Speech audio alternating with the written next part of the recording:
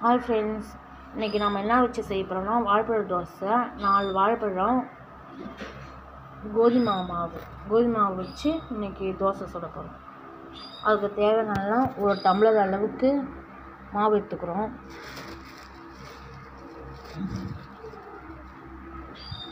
இந்த டம்ளர் சைஸில் தான் நாங்கள் மாவு எடுத்துக்கிறோம்.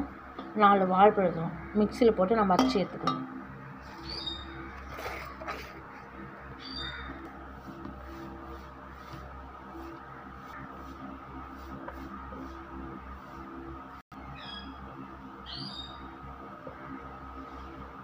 நாலாக பிச்சு போட்டாச்சு.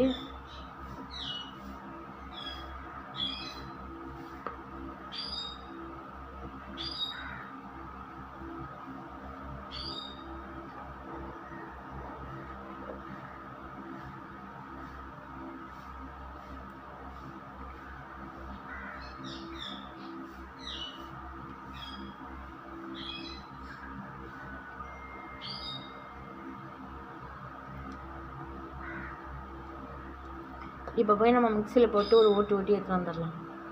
வாழைப்பழத்தை மிக்சியில் ஒரு ஓட்டு ஓட்டி எடுத்துகிட்டு வந்தாச்சு. நல்லா மழை மழைன்னு வந்துக்குது.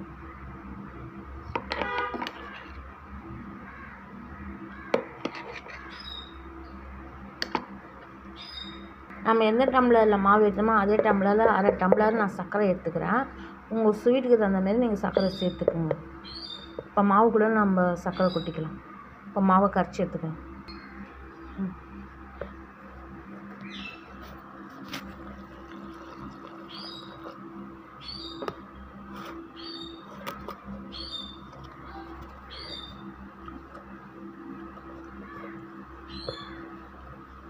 இப்போ நம்ம தோசை மாவு பக்கத்தில் நம்ம கரைச்சி எடுத்துக்கணும். இப்போ நம்ம அச்சு வச்சல வாழைப்பழம் அது ஊற்றணும்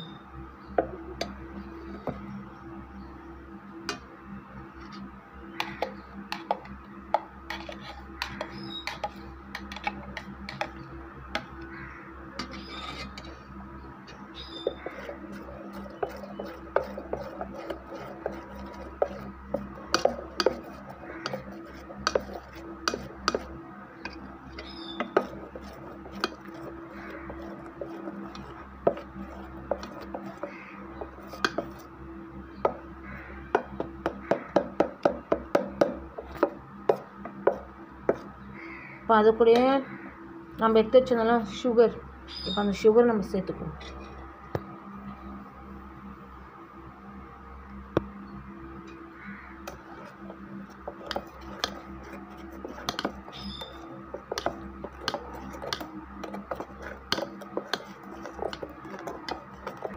அதுதாங்க எல்லாமே ரெடி ஆகிட்டு இப்போ ஒரு அஞ்சு நிமிஷம் அப்படியே ஊறட்டும். நம்ம இப்போ போய் தோசைக்கல் நம்ம அடுப்பத்தை வச்சு தோசைக்கல் வச்சுக்கலாம். இப்போ நம்ம அடுப்பை வச்சு இப்போ வச்சாச்சு. தோசைக்கல் நல்லா காயிட்டோம்.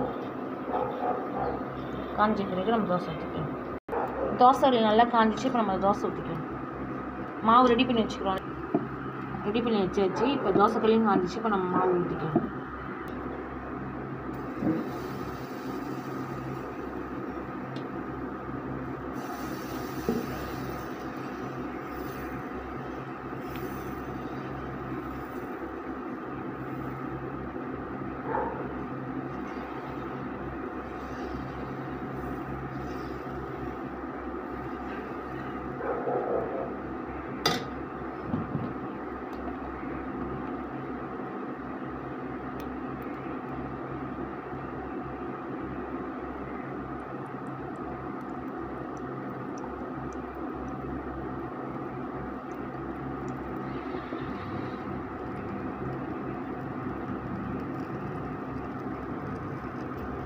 தோசை நல்லா வெந்துருக்கு இப்போ நம்ம திருப்பி போட்டுக்கலாம்.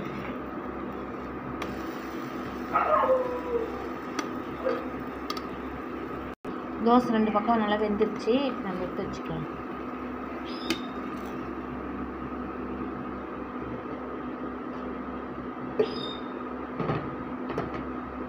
இப்போ நம்ம ஒன்று ஒன்று சுற்றி எடுத்துக்கலாம்.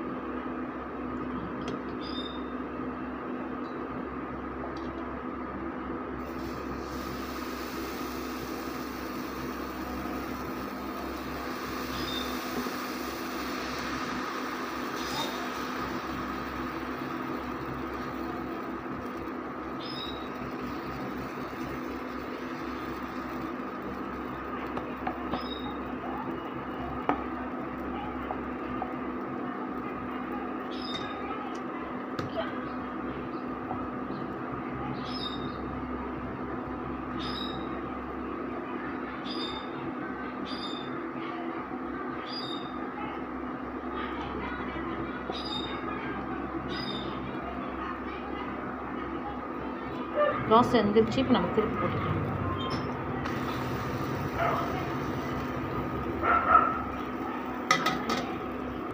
தோசை ரெண்டு பக்கம் வெந்துருச்சு இப்போ நம்ம திருப்பி போட்டுக்கலாம்.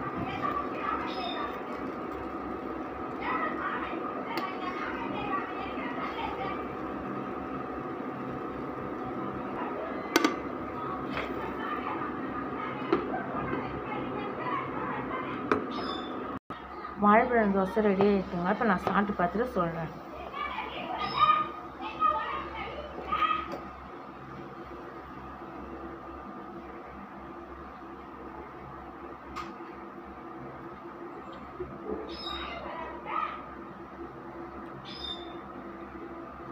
சூப்பராக இருக்குதுங்க.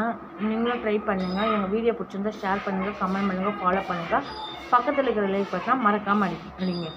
நாளைக்கு வேறு ரெசிபியோடு சந்திப்போம். பாய்